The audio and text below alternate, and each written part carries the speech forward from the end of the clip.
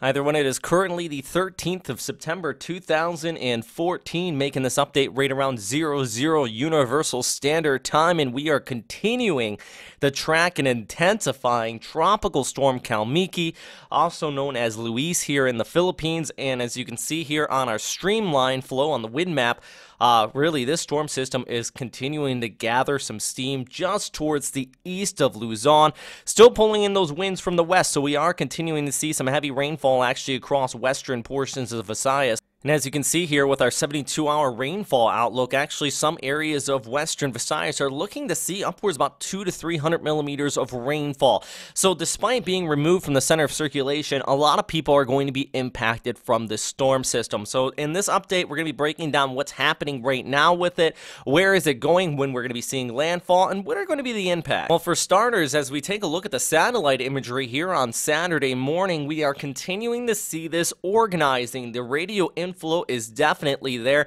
You're seeing more of that circular motion, inflow coming in from the north, also plenty of moisture wrapping in from the south. This is the big problem, as I mentioned, uh, across Visayas and Mindanao. Yes, the storm system is expected to make landfall out here around Casiguran and Palanan, there in Aurora, over towards Ilagan, and possibly uh, in, off there towards Cagayan. But the thing is, you still have that moisture inflow farther down towards the south. So even the Cebu area, you could be looking at that threat of flooding all across Visayas as that flow continues to push in. And as, that is occurring, we're going to be seeing this storm system intensify. It's just adding to the fuel available for it. Furthermore, sea surface temperatures under it uh, definitely supportive, upwards about 30 degrees plus. That combined with this relatively low vertical wind shear we are seeing, this is actually uh, the JTWC track overlaid on this, but these areas in the yellow, that's indicating the amount of wind shear, that difference between the surface winds and the upper level winds. And you want less than 10 to 15 knots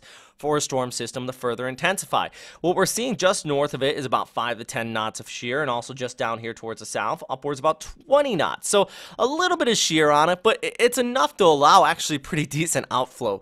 So we're still seeing this storm system continue to intensify as it tracks off here in this west-northwesterly uh, projection. Now, how strong exactly is it going to be getting? Well, the thing we did see a change uh, from Friday and Saturday is the Japan Meteorological Agency is now forecasting the storm to become a typhoon prior to landfall. You can see here tropical storm strength, but rate at landfall upwards about 120, gusting to 176 kilometers per hour. So that would be a Category 1 storm system, but let's change it up over towards JTWC.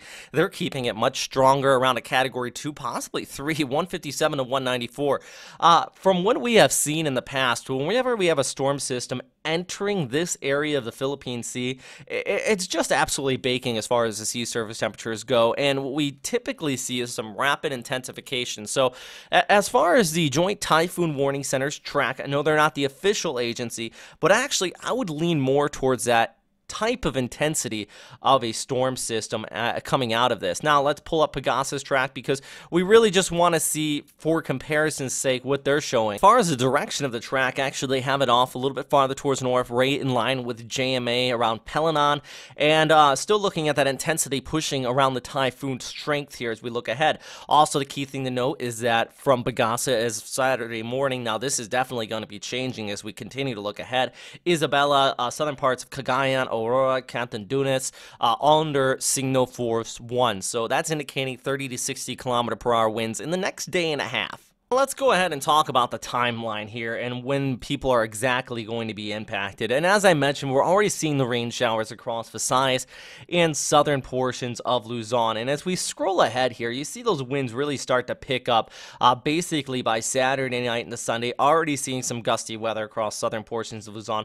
Our storm system starts to make that north northerly churn, not so much northwesterly churn, uh, off there towards northern portions of Luzon. Now, this is the ECMWF model. and It's kind of the northern outlier right now as far as our model outlooks are concerned because, as you can see here, this is from the JTWC track and it has that landfall pushing onshore right around Casiguran and putting Palanan here in the north quadrant of this storm system. And I think that's a more likely scenario where you would be seeing these very damaging winds. Ilagan just farther inland, those areas would be seeing the very heavy rainfall as well. Basically, throughout the day here on Sunday, with the worst of it being by Sunday night, and our storm system pushing overhead into Monday morning. By Monday morning, Manila would be seeing those westerly winds wrap around. And despite being removed down towards the south, I think tropical storm strength winds are also still very well possible for much of the NCR, especially right near immediate coastal areas. This is actually the latest warning from the Joint Typhoon Warning Center. And I like using them for this point because they show the extent of where they expect the tropical storm strength winds to be.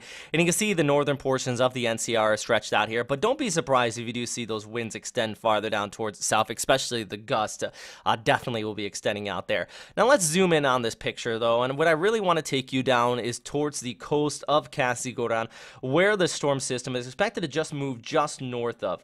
Now, as I mentioned, Palanan here, over here towards the north. Now, exactly where the storm system is actually coming ashore here into uh, Isabela is some good news because actually this is going to be a very relatively remote area. We do have one town just off here towards the north of the center of circulation, and it's these smaller towns that really I think are going to take the worst of this storm system if it does take that exact track. Now, as I mentioned, though, this area is relatively remote. Most of it actually is a national forest, a lot of mountains through here. And the problem is, once you get that moisture coming on shore and hitting a lot of these mountains, especially right in here, you see in a tremendous amount of rainfall. So there is that serious threat of flooding. By the time it works a little bit farther inland, it likely will be a little bit weaker, but still San Mateo, San excuse me, Santiago City, Ilagan City. Uh, these areas are all going to be looking at that threat of heavy rainfall and even landslides. So really the worst of it will be here along the coastline. Casiguran, of course, you're still going to be seeing some rough weather with this. And then Palanan farther off there towards the north if the storm system was to track into that direction. All right, guys, that's really the direct impacts we're going to be seeing from this right now. I do want to scroll back the picture. I don't want to forget about this. Track eventually looks very, very similar to Ramasu soon. Even Hong Kong should be keeping an eye on it. Right now, we are concentrating on the Philippines, but if you are farther off there towards the west and you're tracking the storm system, it's coming. And Hong Kong could be actually go through some storm warnings here as it does push towards the south. Uh, upwards about two to, two to three could be possible if it stays on this track, but it could even waver farther towards the north. So by Tuesday and the Wednesday, for those of you out here, you, want to keep an eye on this one and see exactly what's going to be happening. But right now, it is Saturday. We're still continuing continuing to track it. As always, if you are being issued evacuation advisories, don't fool around with this. Uh, even though it is a low end storm, it's still going to bring a lot of rain and still a very serious threat. So, as always, stay safe out there, everybody. And uh, once again, thanks for watching. All right, bye.